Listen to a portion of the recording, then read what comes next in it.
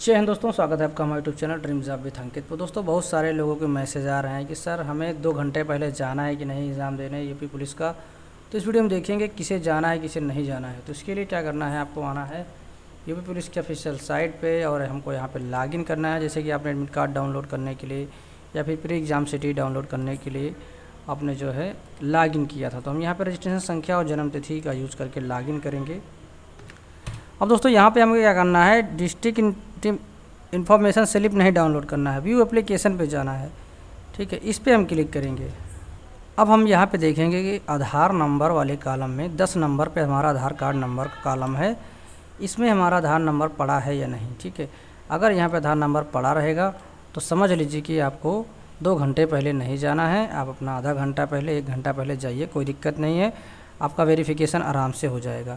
लेकिन अगर आप यहाँ पे आधार कार्ड मेंशन नहीं किए हुए हैं फिर उस केस में आपको दो घंटे पहले जाना होगा, ठीक है?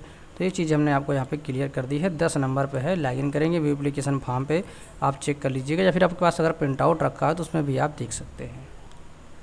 तो आशा करते हैं, आपका ये डाउट क्लियर हो गया होगा। फिर भी अगर कोई कन्फ्यूज़न रह जाता है तो आप कमेंट बॉक्स में कमेंट करके पूछ सकते हैं। मिलते हैं इस वीडियो में। तब तक के लिए बाय टेक केयर जय हिंद बंदे मातरम चैनल पर नए सब्सक्राइब नहीं किया तो कर लीजिए, जिससे कि कोई वीडियो अपलोड करे तो नोटिफिकेशन आपको बिल्कुल टाइम पर मिलती रहे।